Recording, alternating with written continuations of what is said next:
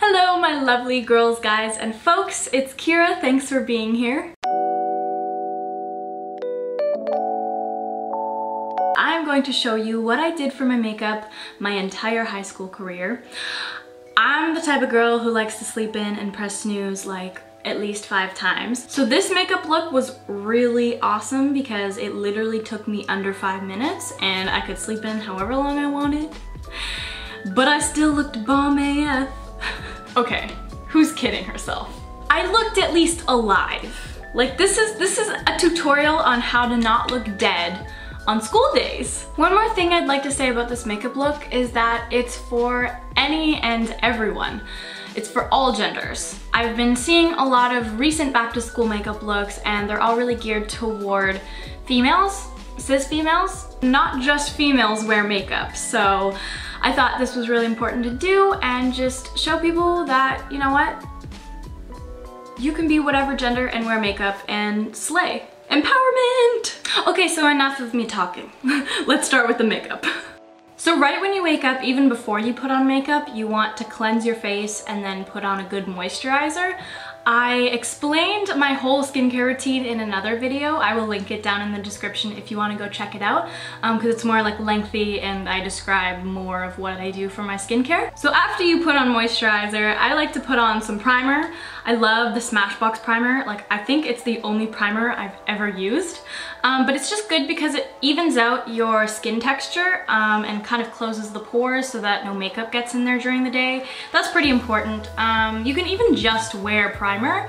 Like if you don't even want to wear powder or anything or foundation, you can even just wear primer on your face. So I'm all done my primer. Today I'm not gonna be even using foundation because I want it to be very just natural, like chill, quick and easy makeup routine. So I'm gonna be using powder instead.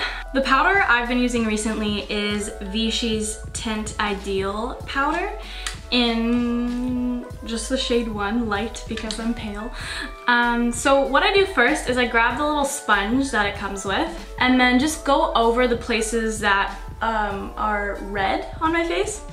So I usually go like around my nose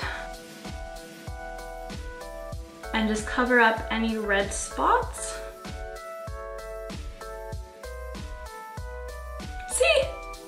Looks better. Damn, and I didn't even do much. So now that I kind of went in and put some powder over the spots that needed to be evened out, uh, I'm gonna go in with my concealer. But I'm gonna be using, I'm gonna be using like a lower coverage concealer. So this is the, um, oh my God, the writing's rubbed off. This is a concealer by Benefit. What's it called? Oh, Fake Up.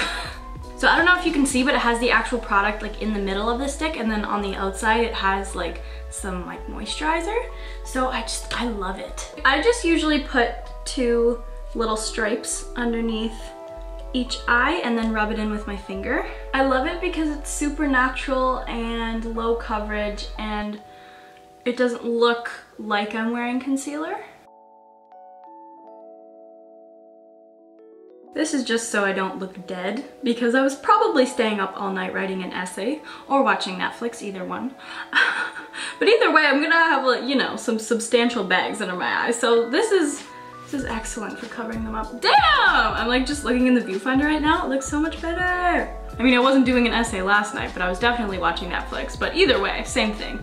It's gonna help either way. Okay, good. So now I'm gonna go back in with my little powder and I'm just gonna grab like a powder brush and go over my entire face uh, just lightly. This concealer tends to crease a little bit, so what I like to do is go back in with the sponge and just go over the concealer. You can even go over your eyelids a little bit because I know I have some veins on my eyelids and sometimes I just like to go in with a little bit of powder on the sponge to get rid of those veins because again we're not going to be using eyeshadow because it's a very natural looking no foundation uh, no makeup makeup look. Moving on to brows. I'm not using an eyebrow pencil because it's just too harsh because I want a really natural looking brow today.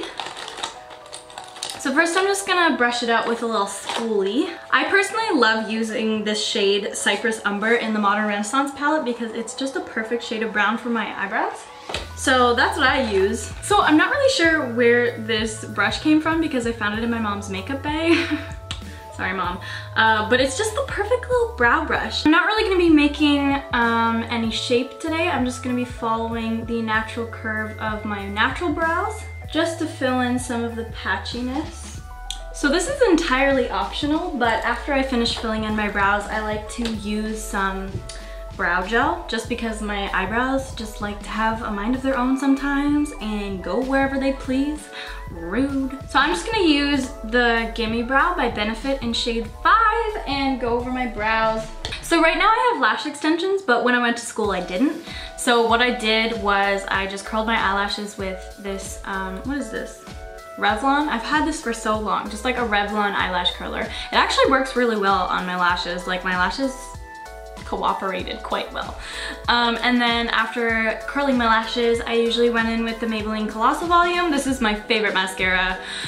Oh, I use this just like all the time, just all of the times. And it's a drugstore brand, so it's cheaper than Sephora brands. So after mascara, you wanna kind of put some color back into your face. I really like to use this Vichy bronzer. I'm just gonna put this around the perimeters of my face and in my cheekbones and kind of on my chin. So after bronzer, I like to put on a little bit of blush just on the apples of my cheeks, like not all the way back so that it doesn't look too dramatic. Um, but I, I use like a variety of different um, blushes. I really love this one by Milani. It's called Hermosa Rose. I think a lot of it's rubbed off, but um, I love using this one because it's more of like an orangey kind of tint. So this step's optional. Um, I just like being a little bit spicy sometimes. Um, and I put some Becca cream highlighter on my cheekbones. The cream highlighter is really good because it like, it's not dramatic at all and it doesn't leave like a stripe of highlighter. It just looks like, just a little bit of like,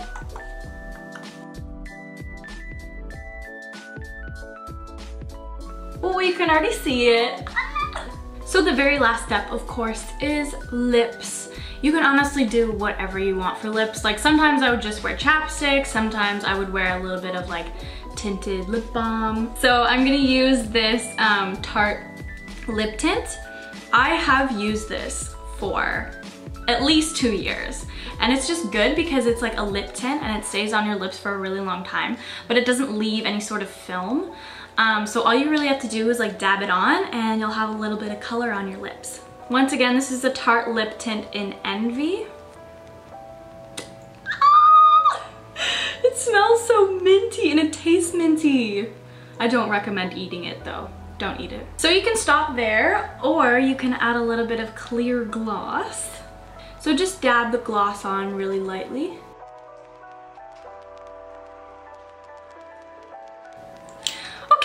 Do I look a little less dead now? I think so. So guys, this is the final makeup look. I really hope you enjoyed this tutorial. Give me a thumbs up if you did and subscribe if you haven't already. Good luck at school, guys. May the odds be ever in your favor.